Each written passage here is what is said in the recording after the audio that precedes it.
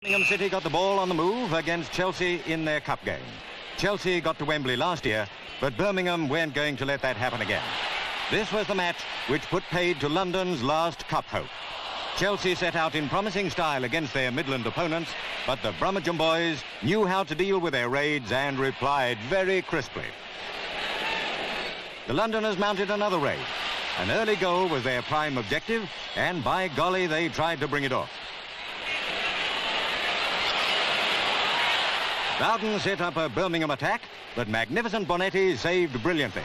And still Birmingham wouldn't let up. They hammered away at the Chelsea defence until it seemed certain they must score. Somehow the pensioners kept them out.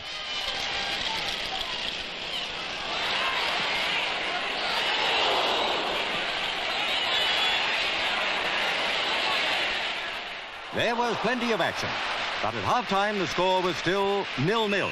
And so First Division Chelsea started the second half against their cup-storming Second Division opponents. Jim Herriot was well in control in the home goal, but at the other end, Bonetti was under a lot of pressure. He dealt safely with this Vowden effort.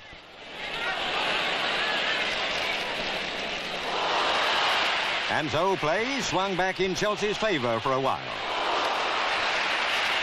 But that all-important goal wasn't far off. Birmingham were menacing, and at last they launched a successful attack.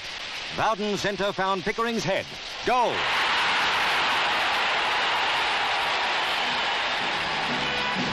Birmingham supporters were jubilant. Their giant-killing team had done it again. Pickering was the man of the match. Birmingham may be second division, but they're certainly not second class.